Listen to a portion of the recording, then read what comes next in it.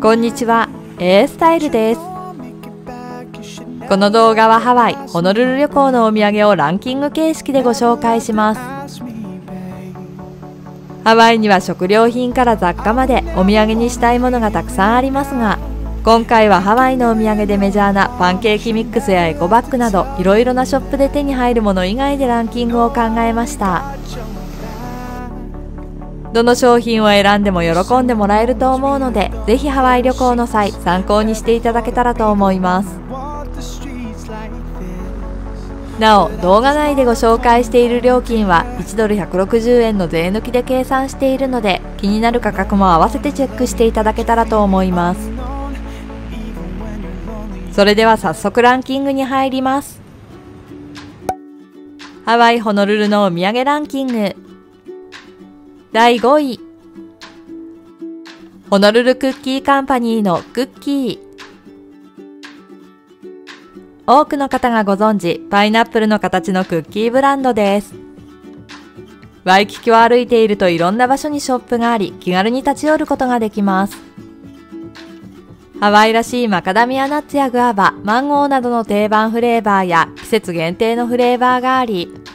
見た目も可愛らしいのでハワイのお土産として大人気。自分用にもお土産用にもできる様々なパッケージがあり、比較的手に入れやすい料金なのも魅力の一つです。クッキーなので賞味期限は短くなく、個包装になっているのでばらまき土産にもおすすめ。日本ではコストコやオンラインなどでも手に入るので気になる方はぜひチェックしてみてくださいハワイ・ホノルルのお土産ランキング。第4位。マノアチョコレート。ハワイはアメリカで唯一カカオが育つ場所。マノアチョコレートはハワイアンカカオを扱う数少ないチョコレートメーカーの一つです。ハワイをはじめ世界中から仕入れた良質なカカオから作られたチョコレートを販売していてミルクやダークなどスタンダードのものからマンゴーやパッションフルーツなどハワイらしいフレーバーまで数多くの種類があります。ヒロハワイアイランドシリーズのカカオ70%のダークチョコレートはパリのサロン・ドゥ・ショコラで最優秀賞を獲得している実力派。ショップはカイルアにありますがワイキキマーケットやホールフーズマーケットなどでも買うことができます。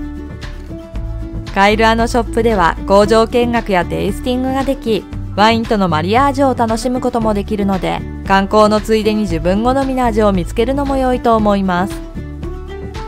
参考までに私はテイスティングしてカカオ70%のダークチョコレートケアラケクアを購入しましたが本当に美味しくて一人で全部食べてしまいました。板チョコサイズやミニサイズパッケージもいくつかありデザインもとても可愛いのでお土産としておすすめです。ハワイ・ホノルルのお土産ランキング。第3位。 Island Soap Candle Works の Surfer's Salve Island Soap Candle Works はハワイの天然素材を使用した自然派コスメを販売しているお店。石鹸やキャンドルをはじめバス、ボディケア、リップケア用品などを買うことができます。今回私が第3位に選んだサーファーズサルブは日焼けは虫刺され乾燥した肌や唇にも使うことができる万能な軟膏ちょっとした傷やあざ、やけどなどに使うとすぐに赤みが引くので家や職場のデスクにあるととても便利で私はハワイに行くたびに購入しています。大箱やローズマリー、ラベンダーの葉やアロエベラ、ビタミン E、ティートリーのオイルなど天然の成分が使われており、薬ではないので比較的安心して使えるのがポイントです。ABC や Whole Foods などで買うことができ、大小の缶に入ったものやスティックタイプ、チューブに入ったものなど様々なパッケージがあるので用途に応じて選ぶことができます。手に取りやすいサイズや価格でお土産にもしやすく何より私が昔から使っていてとても重宝しているので第3位に選びました。ハワイ・ホノルルのお土産ランキング。第2位。ビッグアイランドキャンディーズのショートブレッドクッキー。ビッグアイランドキャンディーズも多くの方がご存知のお店。ブラウニーやクッキーチョコレートなどいろいろなお菓子を買うことができます。中でもシグネチャーショートブレッドクッキーがお土産として大人気。バターの風味とマカダミアナッツの香ばしさを感じるサクサク食感のクッキーで一口食べただけで美味しいのがわかります。フレーバーはナッツ入りとナッツが入っていないもの。チョコレートでディップされたもの。レモンやパイナップル味のものなどいくつかあり詰め合わせなど様々なパッケージがあります。防腐剤を使用していないため2週間以内に食べるのがおすすめだそう。ハワイではハワイ島の本店とアラモアナセンターの2店舗のみの販売のためショッピングのついでに立ち寄るのが良いと思います。ちなみに日本でもオンラインで購入可能。見た目は普通のクッキーですが本当に美味しいのでお土産としておすすめです。ハワイホノルルのお土産ランキング。栄えある第1位はザッカハラホテルリゾートのマカダミアナッツチョコレート。カハラホテルはワイキキから少し離れた閑静な住宅街カハラ地区に位置する高級リゾートホテル。私が第1位に選んだお土産はカハラホテルのショップで買うことができるマカダミアナッツチョコレートです以前はホテルでしか買うことができませんでしたがロイヤルハワイアンセンターに直営店がオープンワイキキに滞在しながら気軽に買うことができるようになりました。フレーバーはホワイト、ダーク、ミルク、キャラメルの4種類。